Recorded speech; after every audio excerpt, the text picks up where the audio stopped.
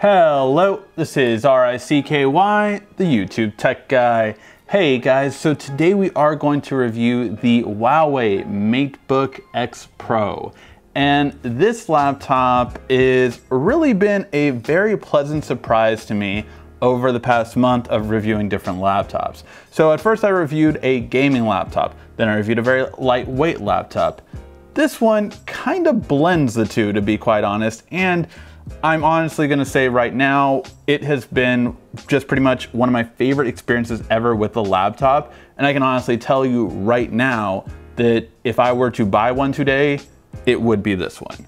My experience with it has just been really great. I love the screen to body ratio, which I'll talk a little bit more about, the speakers, the lightweight under three pounds with having everything that I have under here is really impressive. So first of all, the design. The design is really nice. Again, that screen to body ratio is 91%. I love this trend coming from smartphones to laptops, having this really nice design and just more screen to body ratio. It makes it look better, less real estate going to the bezel and more to the screen without a notch. Now, the big thing about this is that it really feels great. It feels premium. The keyboard is really great and the trackpad is awesome. Definitely the best I have used, I would say in this past month. I really just love the way it feels, its responsiveness. I love the trackpad's very smooth but you have to go to the elephant in the room and that is you're gonna have Apple users saying, is this a MacBook? And you're gonna have to tell them, no, it's a MateBook. And they're like, well, what is that? So overall, this is called Space Gray. So you have to keep that in mind that it's definitely going to look like a MacBook. However, I will say that overall, I think Huawei did a better job than Apple at designing this computer because of the fact that one, I feel that you have way better speakers with Dolby Atmos, and we'll get to those in a second, but the I.O. is really important. Yes, you have two Type-C connection and one is Thunderbolt 3, Yes, you have a headphone jack, but the biggest thing is, is that you have a full-size USB. That is so important to me because I went from a computer with only Type-C connectors, and then I went to another computer that had full USB, HDMI, all those kind of things, but this is a nice blend of the two while still being extremely lightweight. In my experience, it also never lasted less than a day and a half really of all my usage. Even when I was editing, it would still get close to 10 hours. And of course they say up to 15, but for an editor, I will tell you that you don't get close to that with most computers. And the fact that I could edit with this lightweight design is impressive as well, especially when you're talking under 2000, which again, we'll get to the price point later. Uh, overall, the speakers are great and they really sound uh, much better than almost any other computers, even MacBooks that I have seen with this similar design speaker layout. So let's play it.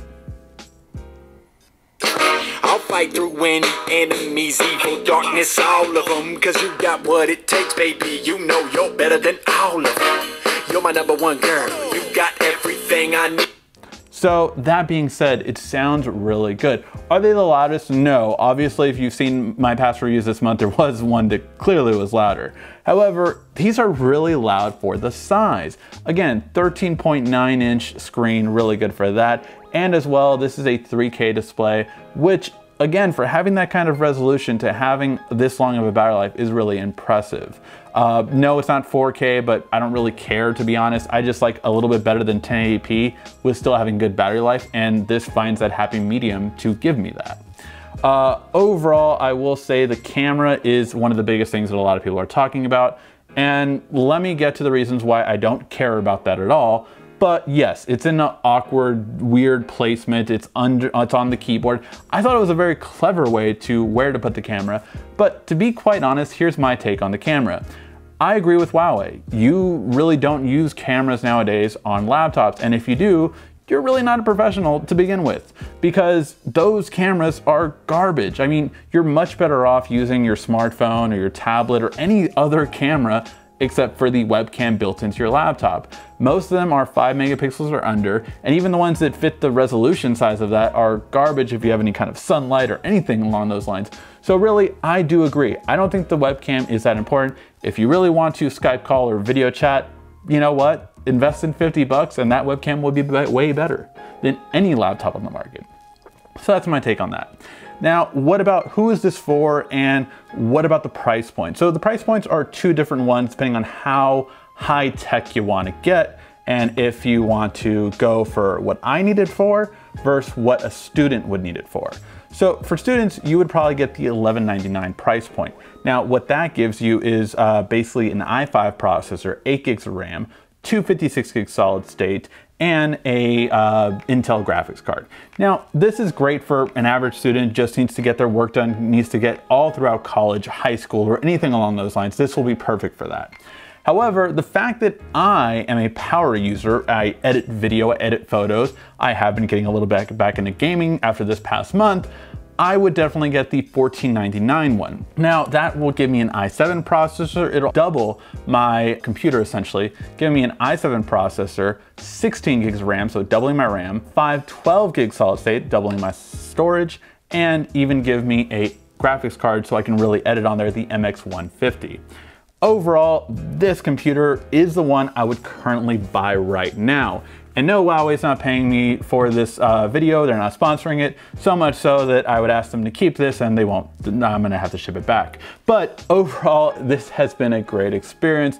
And I would say for a lot of people, yes, this is better than getting a Surface Book. Yes, this is better than getting a lot of current laptops out there for the design quality and for the price point it's at. Normally for most other computers around the same kind of style, you would be paying more. I've seen similar spec computers like this, 300 to $500 more than this one's price at normal price. That's not even including a sale like at the Microsoft store, you can get it for $150 off or a lots of different sales that'll be coming later this year. So my thing is for back to school, this is one you should definitely take a look at and one that stood out to me in this entire review month of laptops.